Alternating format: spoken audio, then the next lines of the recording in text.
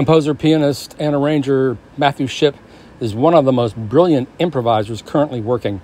He has recorded dozens of recordings since 1988 as a leader, and almost as many as a sideman with the likes of David S. Ware, Rob Brown, Matt Maneri, Whit Dickey, Roscoe Mitchell, Joe Morris, Ivo Perelman, and many others.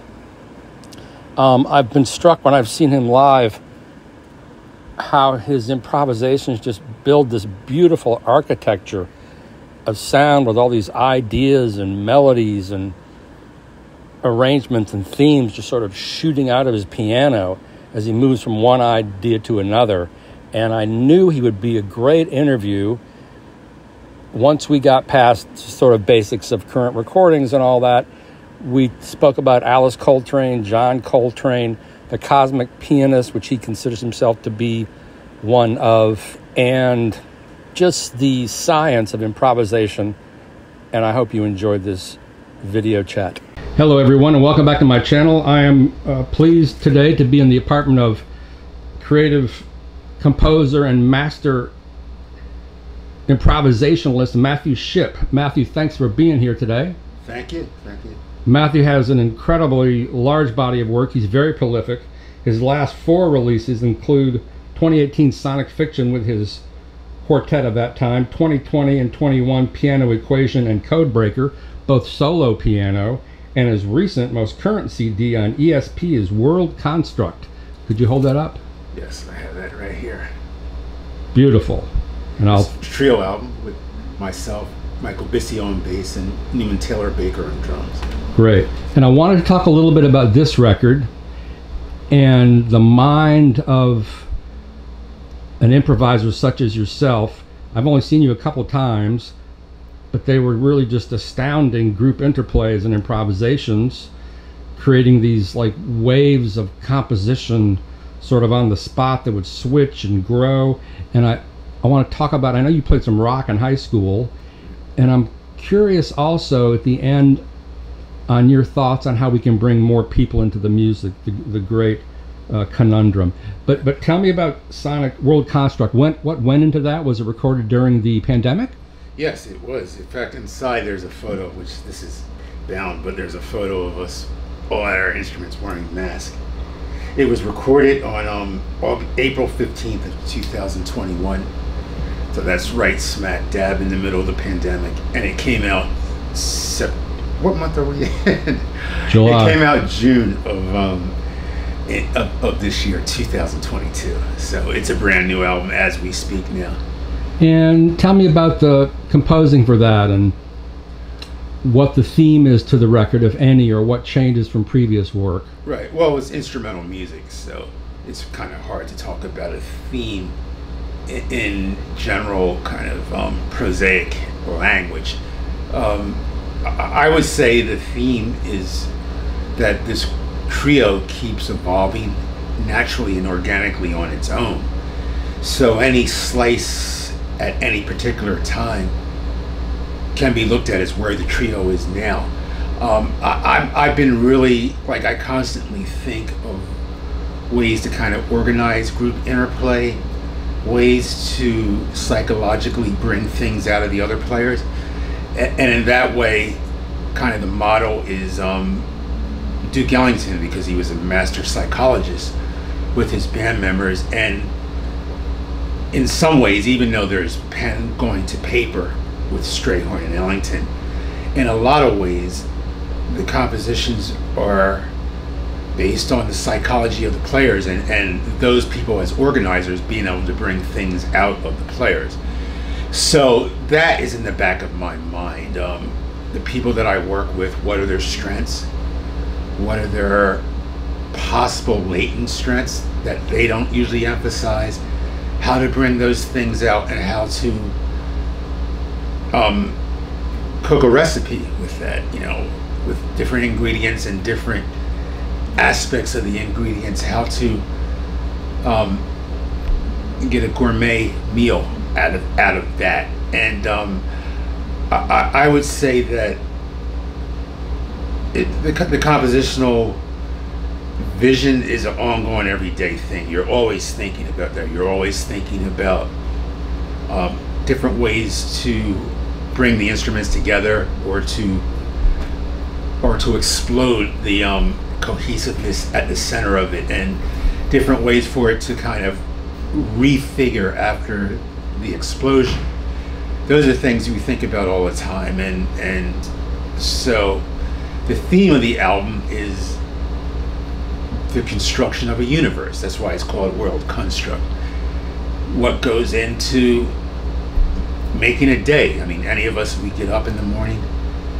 You you know you, you might have plans for the day. The plans get interrupted by events. Um, uh, what, what was it? Who was it? John lennon said something that life there's you know your plans and then life is what intervenes you know. So i mean it's, it's the same thing with the kind of nexus between jazz improvisation and composition that um, certain things are planned other things arise and quote get in the way.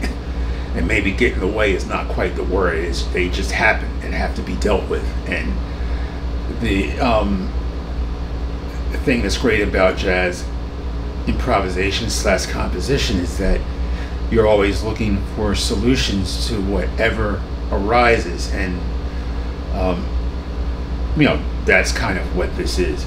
So that's the theme of the album and you know there's if there's a theme because i don't really know if instrumental music per se has themes. I, you know i mean the, the composer can assert that there's a theme or they, they can have something in the back of their mind um, but unless you're doing a complete sound tone tone poem, like I say about a location or, you know, it, it's kind it's kind of subjective taking abstract sounds and and fastening them onto a concrete thing. Um, so anyway, that's the theme of the album, if there is a theme. That, that's a great answer, and I I never really quite thought of it like that before, but Ellington writing for Johnny Hodges, or right. or or some of the other players. Give me an idea. Can you break that down? How you would consider like Michael Bisio's personality or his playing or his latent um, ways of reacting? How does that figure into the way you would compose for them or present your music or even improvise with them. I've right. never heard anybody discuss well, it like that. Um, people have things in their vocabulary that they think are their signature. They have things that they go back to because that's what they think their personality is. And then they have many things that they hint at that they don't even realize that you can build a whole thing off of. So I, I, I would I would assume as the quote leader slash psychologist slash um, huh. uh, composer of the group. If I'm going to if if, if I'm taking whatever ensemble is in front of me and um, the idea is to have a real meshing of all the components of all the vocabularies of the people involved I, I try to be cognizant of what people hint at at times or little things you hear in their playing that they might not emphasize and then find ways to subtly um, bring those things forward which might even be a surprise to them because they might hint on things in their playing that they don't even realize are there so um, i see my job as a manipulator kind of i mean i manipulate things out of them um, because if you leave people up to their own devices, they're going to, and you know, this goes for me too. They're going to um, go in default mode to things that they think um, represent them, and then at times of the most inspiration, they will maybe go outside of that or above it somehow. But the idea is to um, constantly shift the components. I mean, the components are all all there all the time, all of them, but the kind to shift the emphasis on different things, and that's what changes. You know, this product of today from that product of yesterday is kind of a reshuffling of elements. Um, because how how often does anybody completely go outside of themselves. That that hardly ever happens. I mean, that maybe maybe happens at the height of inspiration, and and you can lose yourself and, and go above it. But usually, you're dealing with a reshuffling of components. That's, I mean, when I was a the brief period of time I was a musician, I can count on one hand those times when the instrument was playing me. It was very infrequent when you hit that magic thing. But someone like yourself, that ratio seems to be much, much higher, obviously, when you're improvising and opening yourself up to all these different fields. How does one, you're talking about reshuffling, are you, how do you reshuffle your own elements in performance to reach those levels of improv, those amazingly high levels of improvisation? Right. What, well, what goes on mentally, or is it all non-mental? It has to be mental at some point. Um, well, it's mental in the practice room, but on the stage, it has to be completely unmental. And I, I would say that the key, I mean, and I don't think I, um, the instrument's playing me all the time. I mean, I may, maybe for whatever reason, in my development and ways I practiced, I, I came to a format where that might be possible more than some people, but there's still the element of me as a quote finite human being fighting the instrument, you know, to some degree. Um, but I would say the key to that being able to happen is some mixture of complete and utter relaxation and some mixture of not caring.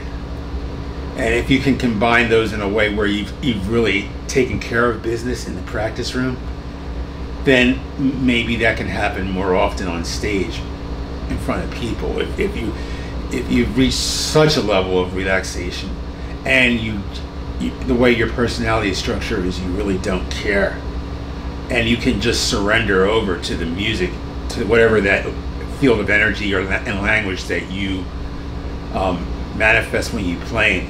Then it, with the, if those two things are in place and and you've taken care of business in the practice room, then you can probably reach um, degrees of of transcendental um, I don't know if disconnection is the right word, but transcendental going above yourself more often than not, or more often than some people are that are concerned with um, what people think about them, or not just able to relax, completely relax and surrender to the music. Are there any places during improvisation, because you're still, you know, still a thought process going on. Are there places you ever won't go where you say, well, I can't go there? Is it uh, ever that concrete? Um, I, I, go wherever I, I, the, the, voices in my head tell me to go. So, um, now, I mean, there's things I won't do myself because they fall outside of my avenue of taste. Such as? Um, I don't use, like, there's some avant garde players that like use elbows or fist or thing. I, I just don't do that. I I always use um, quasi traditional technique, even if my body language is such is not you know is different, uh, and the way I thrust my arms and stuff. I still the actual technique I use is quasi traditional, uh, and maybe I'm brainwashed by my training, but that's just the way it goes, you know. Um, for me, and it, it's not a matter. It's just you know that's who I am. But if if the voice is in my head, and please nobody don't call the straight jacket people, you know, for me saying that, but I, am alluding to something. But if the voice is in my head while I'm playing, tell me to go somewhere, I'll, I'll go there. Could you talk more about that? Because I think people don't understand. Well, none of us really understand what goes on in the minds of improvisers like yourself who have taken it to such a profound uh, level. You're not just taking a piano solo over 32 bars or whatever. Right. The the, the journey you go through a uh, solo. Do, do you ever have?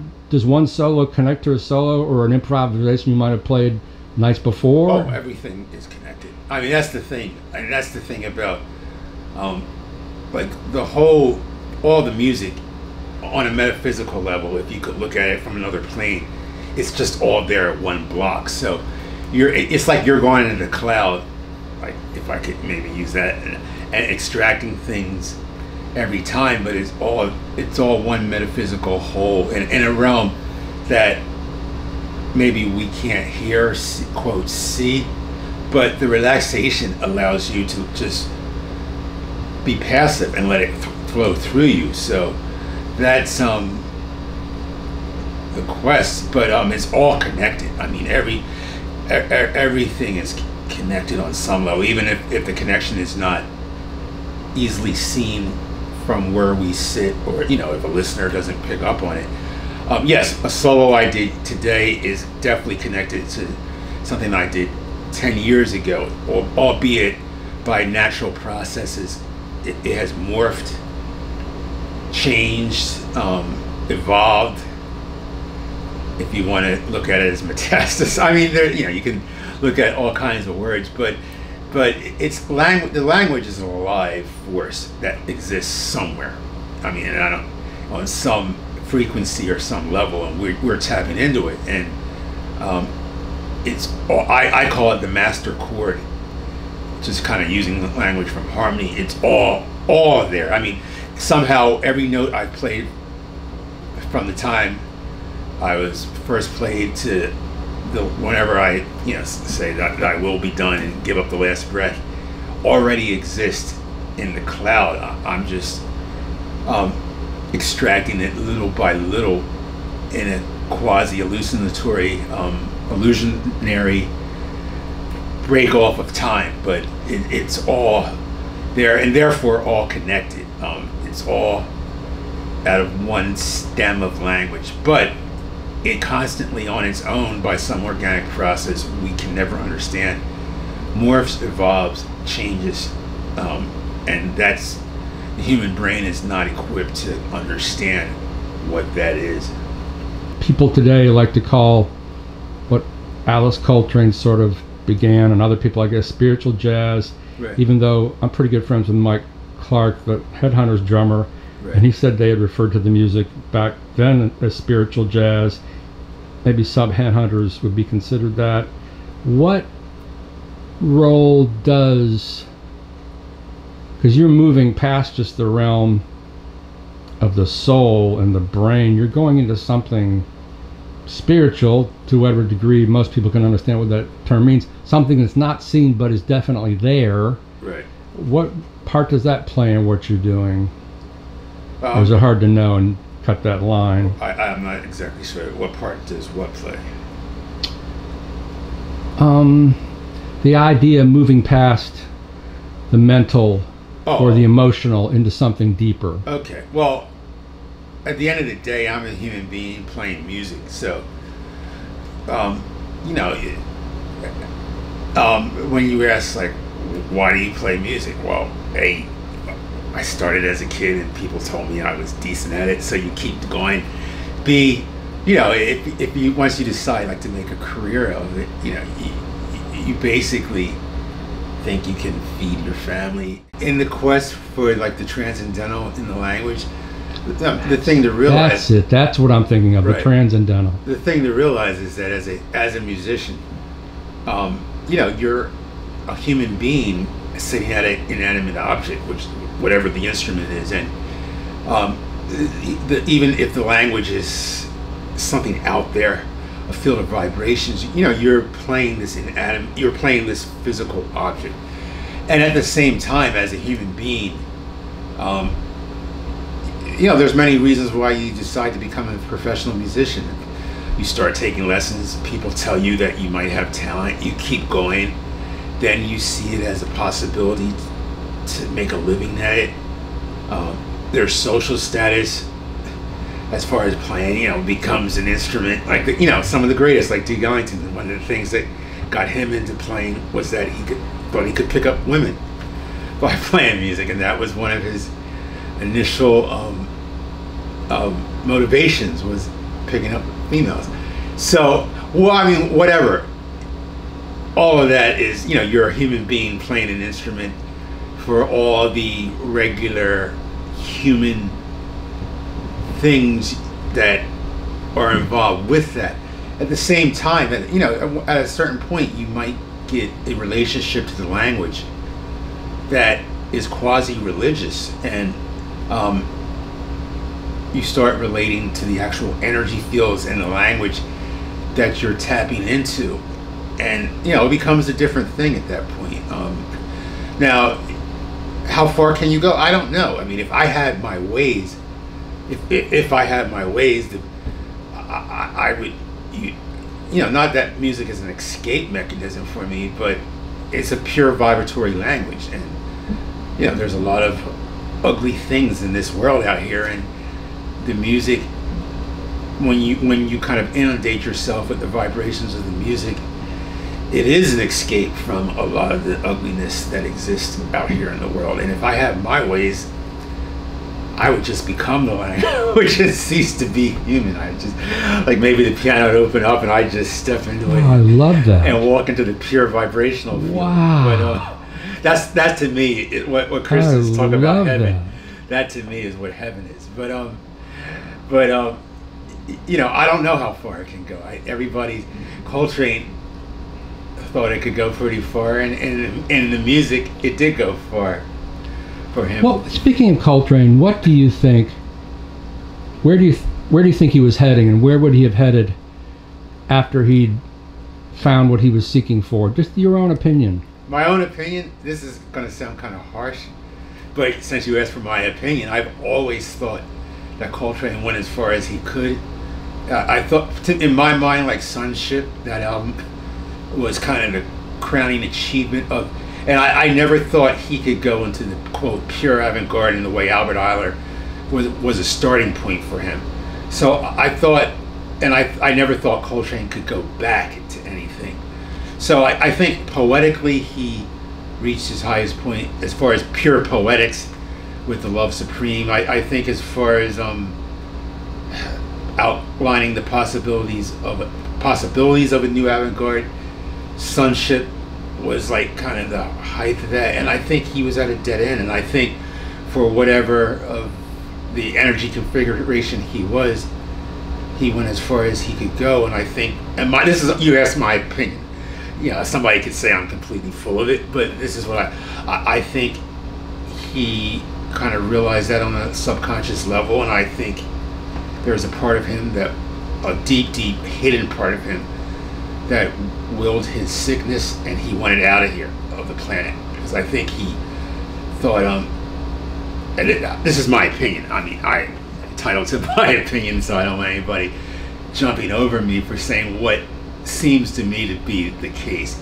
Um, I could be totally wrong, but I, I don't think he had anywhere else to go given who he was, because I think given that he was John Coltrane, that is what the contribution was to be. And I don't think he had a, a life further than that.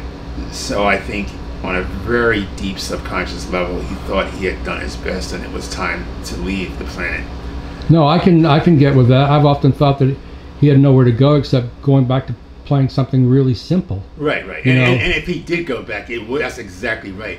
Right. They would have been extremely kind of simplistic statements that would have been prayer like, but I don't think he wanted to do that. I think his personality structure was once where he just had to keep moving ahead, or there was no like reason uh, uh to even kind of continue being on the planet. And and I think that restlessness, Monk picked up on that that restlessness with him when he made kind of um negative comments about Coltrane. And I think it was in a blindfold test hmm. and downbeat if I don't remember exactly, but he he commented on the fact that he was so restless and had to keep trying things out, and, and Monk saw that as um, problematic. Um, wow, that's amazing. That's really something, and it's interesting for me. Sun Ship, that's an amazing record. It, oh, kind of crosses the bridge, but when but I think when it gets into interstellar space, is that the record with that's what Rashi Rashied or some of the other periods? I can't even listen to it. As where Albert Ayler is always so poetic, right? And, and there's this new. Uh, I did a video with with Jeff Lederer. He produced that new Ayler box, like some complete radio tapes, and it's there's so much joy in his playing. Oh, no, some of it sounds like calypso music. Right, right. Ayler is an angel. I mean, it's just I astounding. I don't know where it came from. Yeah, it's just. I wish actually somebody please do an Albert Ayler biography so I can learn more about him. But um, because I'm trying to figure out how he got to where he did. yeah, it was just wow, But, just um, so. To me, it's like listening to spiritual unity. It's like listening to Charlie Parker, and it's a shame that Charlie Parker's not more. I mean, he's revered and all that, but in a way, people don't care about Charlie Parker anymore. When he just sounds like a bird flying into the window. Right. It's Uh, weird. Well, I, I mean, I never got the sense that people don't care about Charlie Parker. No, I don't mean don't care, but like I gauge everything sort of by interest from editors and what sells Oh, at that store. right, right, And okay, people do got you. not buy Charlie Parker records. I They well, well, you're you know people people jazz buyers until they've listened for many years are kind of like can be herded and manipulated by the media. They sort of buy what they're told to buy right. to some degree because media campaigns are flashy and all that. But you know that Ayler box sold out in a week across really? the country. Sold out in our store in I didn't even know there was a, a new Ayler box It's out. really a beautiful box. No, no. Ayler was. Um, I was talking to Ivo Perelman about this, the tenor player. We were just trying to figure out like where it comes from. like where did it come from? Because um, it- there's something so um, primordially um, um, I, I'm trying trying to think of the right word. Um,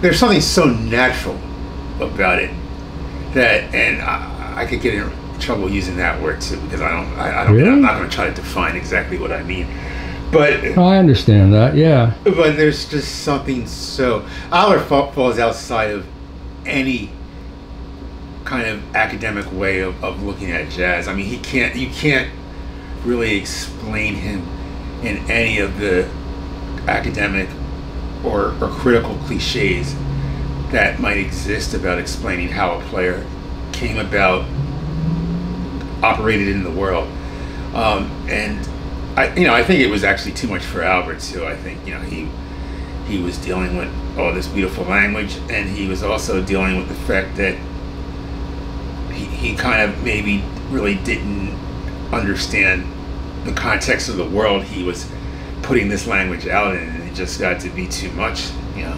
Where do you feel like after, since we're talking about this, and you have great insight as a player? Um, I mean, obviously, I, I think of, uh, I often think of Alice Coltrane as Coltrane's Yoko, because Yoko definitely inspired Lennon. I think, and, and so where, how to you did Alice kind of pick up and move forward? Because now her music seems more current than ever. It sounds Right. totally contemporary. Well, okay. From as a pianist, I look at Alice as the progenitor of a new archetype that I call the cosmic pianist, and I actually consider myself following in that. Totally. Um, she kind of, um, you know, I mean, I'm sure a lot of listeners have seen the clips on YouTube of her playing, you know, as a Detroit bebop player. Um, and then, you know, all of a sudden, she went somewhere completely different. It, it's not post McCoy Tyner. Uh, and, and McCoy is, is, is also part of that archetype of a cosmic pianist too, but he reached he reached that synthesis in a completely different way than Alice did. And Alice is not a continuation of McCoy. She's actually a a new phenomenon in nature. Um, she you know, she's a black pianist. I mean, she's a she her her her headspace encompasses what I, I call black universal consciousness. So a lot of the headspace. I mean, she was a Hindu. Um, so the Are you are you Hindu or Buddhist or anything? I I'm a nothing. I, I mean, my if you look at what I I mean, I, I Hinduism, Buddhism, Taoism is a big part of what I read. And, yeah, I mean, in, in a certain level, I, I actually do do Kundalini yoga. I don't consider myself a Hindu or anything, but I, I I'm I, I had a Shaktipat or a Kundalini ex, very intense experience at a very young age. Um, so uh, one could say that I practice Hinduism in a way, but I I'm more involved with Taoism as as far as a philosophy, and I grew up Christian and been involved with Christian mystics such as um, Meister Eckhart, um, Jacob um, Bohem. I'm not sure the exact pronunciation Germany. Um, Isn't Krishnamurti essentially in, uh, Christian?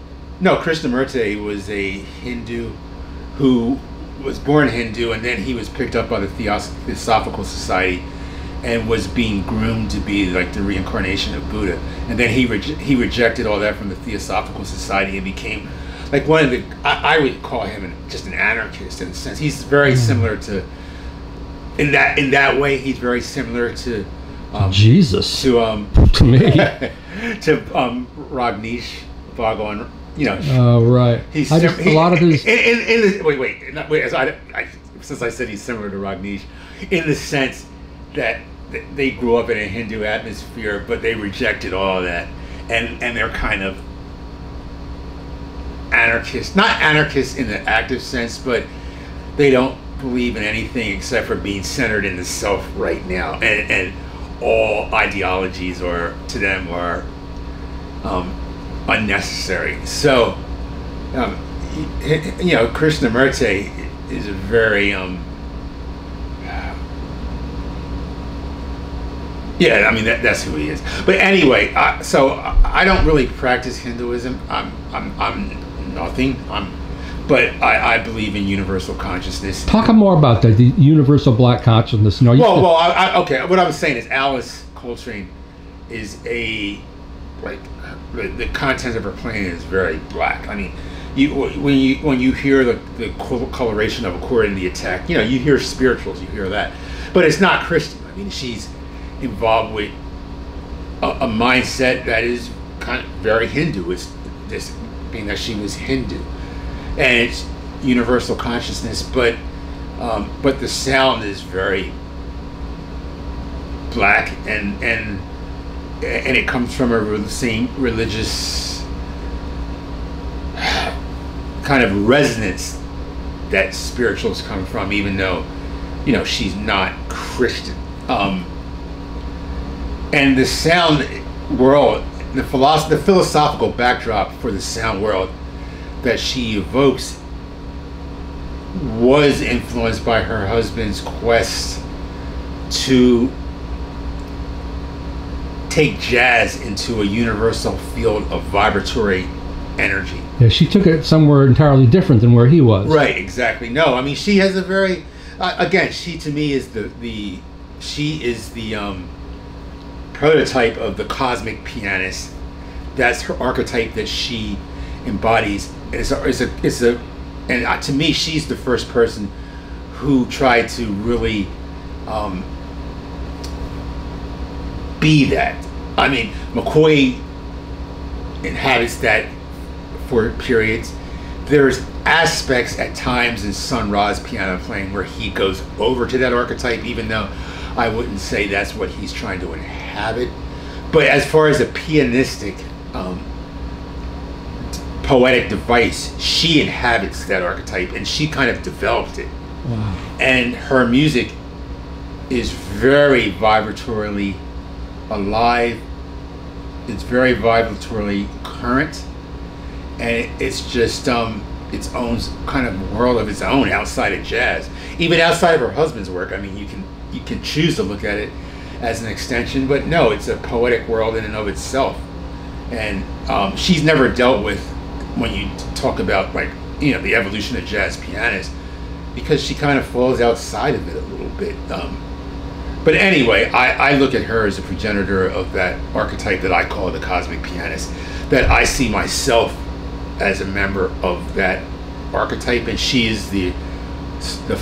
I was, I was going to say the the founding father, but I guess you would call her the founding mother. That's really amazing. That's how I see her. No, it, I, it makes total sense. Blows Right. my mind. And someone from your position can really kind of delineate it and refine those things. I think that's just amazing. I, you know, it's interesting how the whole UK scene has really picked up on this idea of spiritual jazz and Alice Right. Mean, they've really just eaten it up. Are, are do, do you get a different response in Europe, the UK, than you do when you play here? Um, no, people are people. I mean, I, yeah, I mean, you always hear. It. I mean, if people come out to hear the music, they're all everybody's dealing with vibrations, and they all vibrate or don't vibrate to the music as human beings. So I, you know, I, I don't necessarily think European audience are more sophisticated. I mean, there might be more of a tradition of a certain type of sophistication in some parts of Europe because they're maybe more used to going out to jazz festivals and stuff. Are you aware of this? I'm sure you are, but are you into any of these UK people like this? There's a duo, Binker and Golding, trying to kind of pick up a Coltrane Ayler thing, sort of. To my to my way of thinking, none of those players have the technique of American players. Not that you need technique to say any of this stuff, right, right. but all these different artists have really.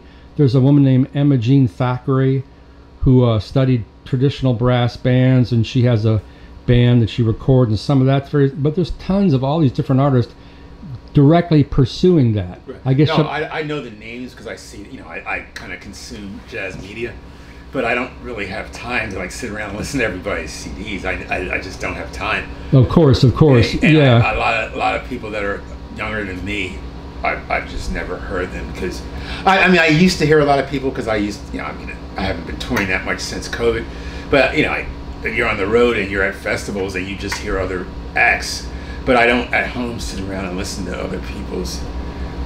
Uh, or, peer, Sure. or, no, or I, younger people. I understand that. I'm, I'm just fascinated. that, You know, UK is always able to take right back to the Beatles, take American music and kind of reinvent it in a way, and that's what they're doing. Not as profoundly as the Beatles did, in my opinion, but they're really taking that idea of spiritual jazz. And I'm curious about this.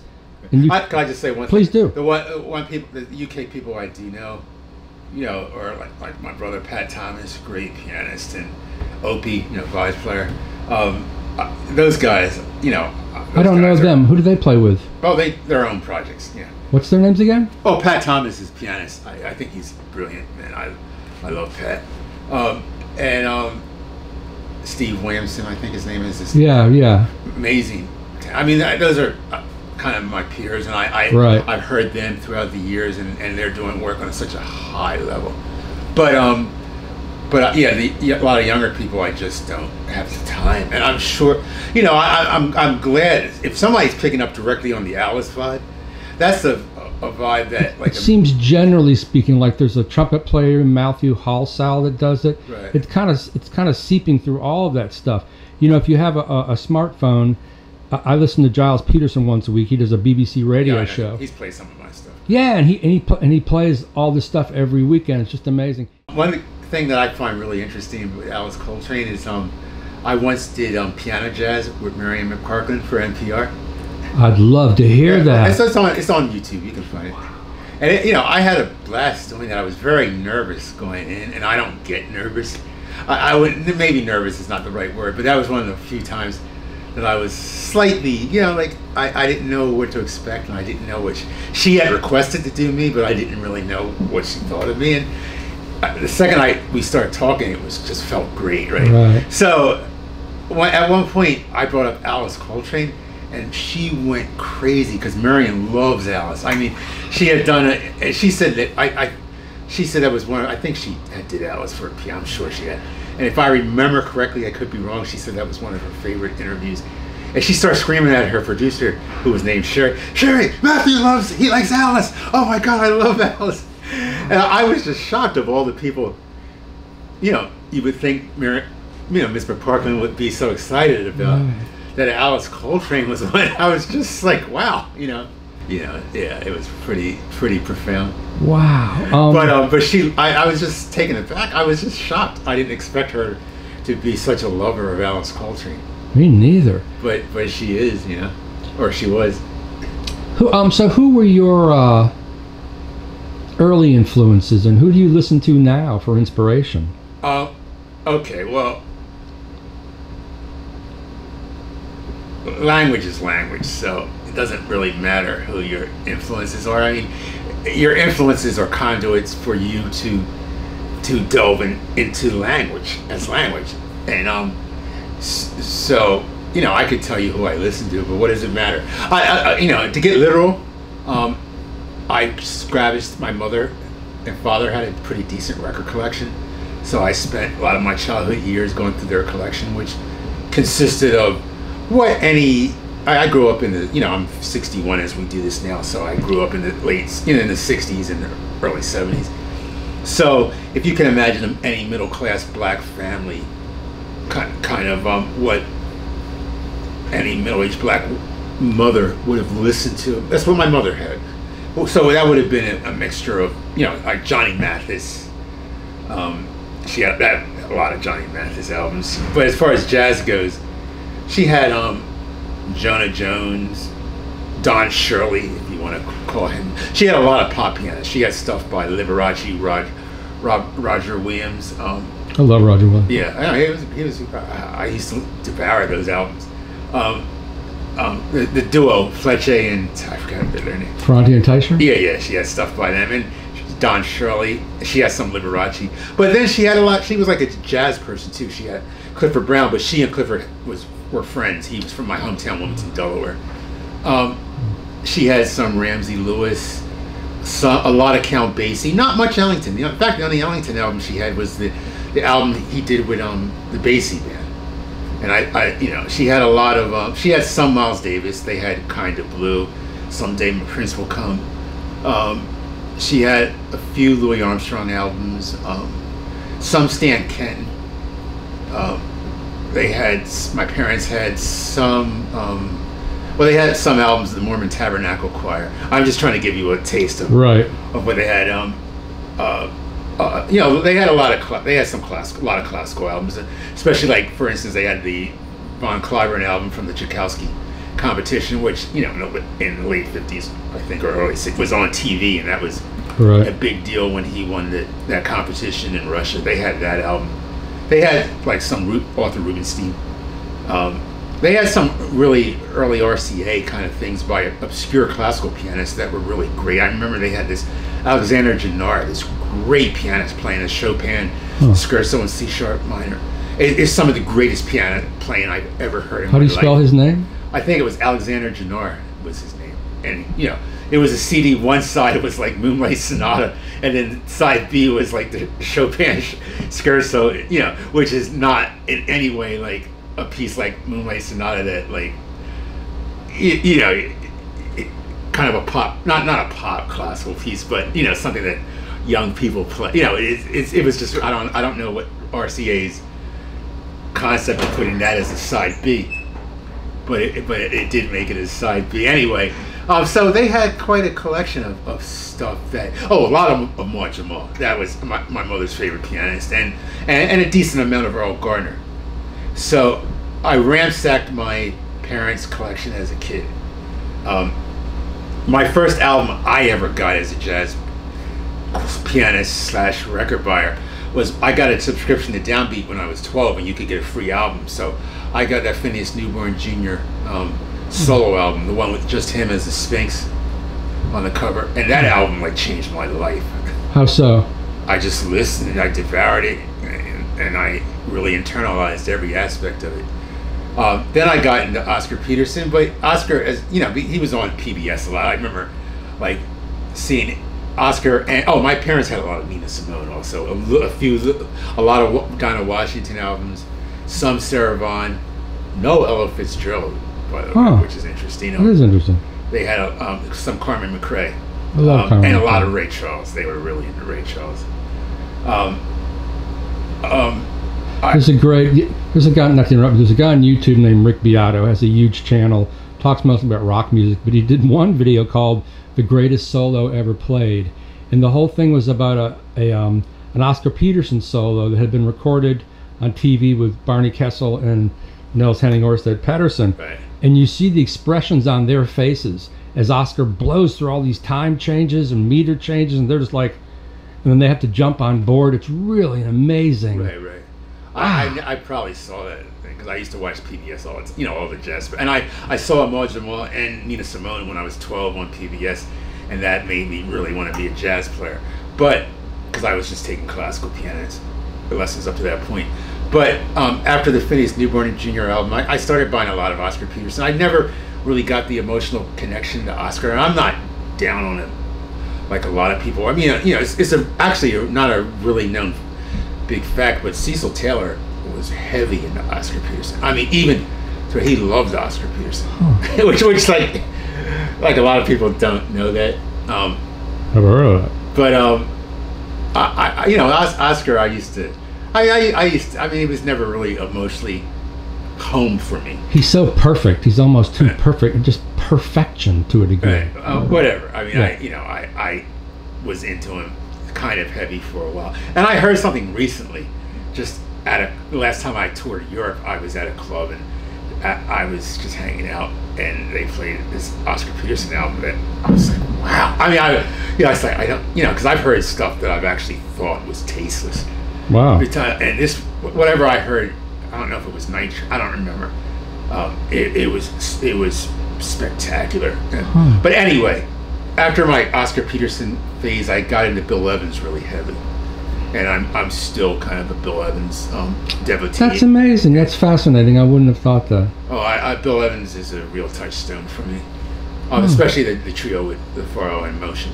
Yeah, it's pretty. That's. I mean, behind Miles, he's the best seller, I think, in Coltrane. Right, right. He's right up there with him. At the store, we can't keep those records in stock. Oh, I love that trio.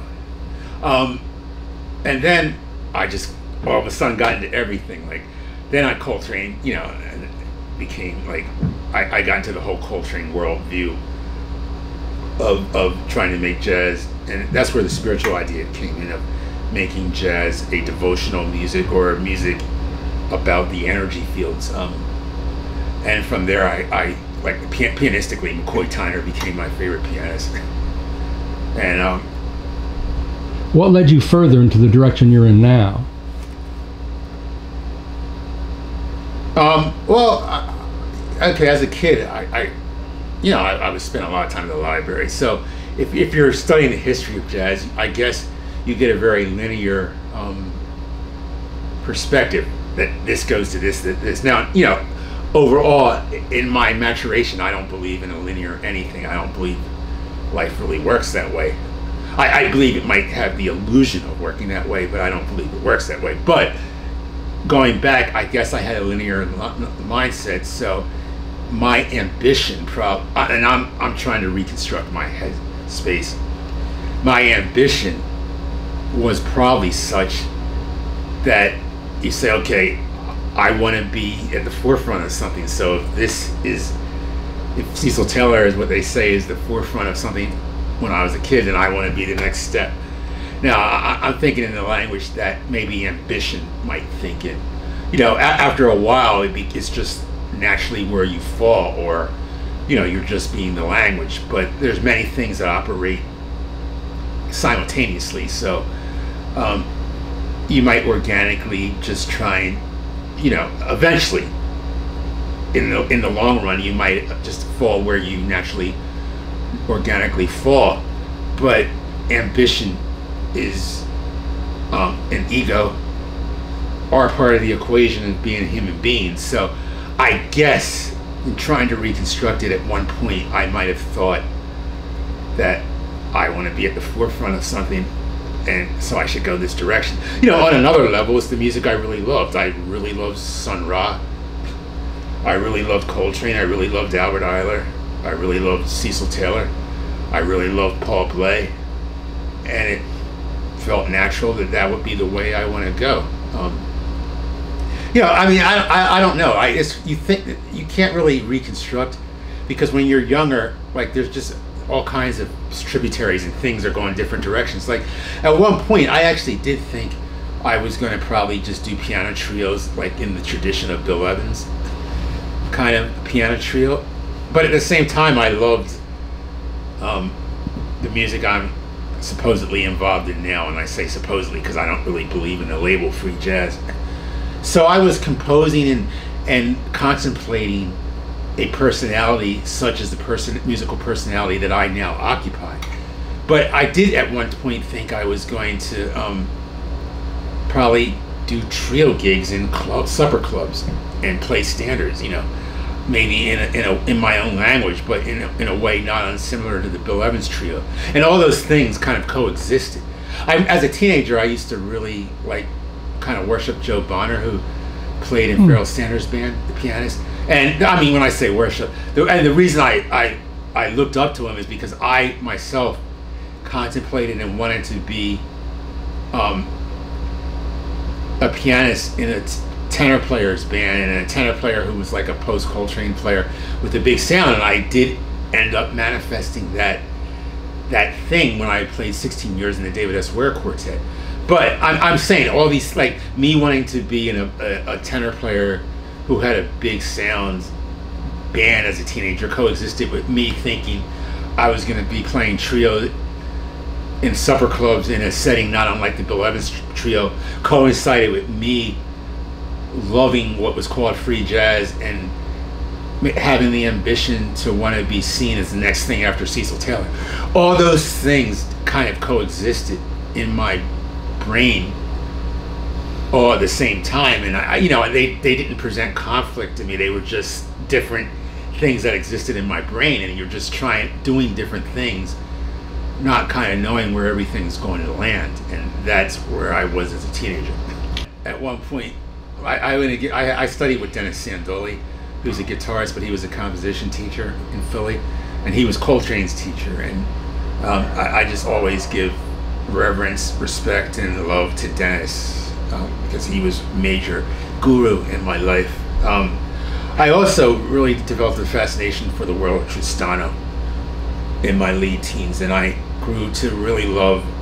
I mean, I, I loved Lenny's music, but I really, really grew to love Sal Mosca the pianist, and Warne Marsh's music. Why is that? Um, it's so pure. Oh. They're pure. Uh, Warne Marsh and Sal Mosca are angels in the sense that they're just pure, pure musicians. And um, I, you know, I never understand what people mean when they say, and I, you know, I spent a lot of time with bebop. I, I know the language in the world of bebop. Uh, and people talk about jazz pedagogy talks about um, playing through changes, um, or there's no such thing as playing through changes. I mean, well, except for Warren Martin.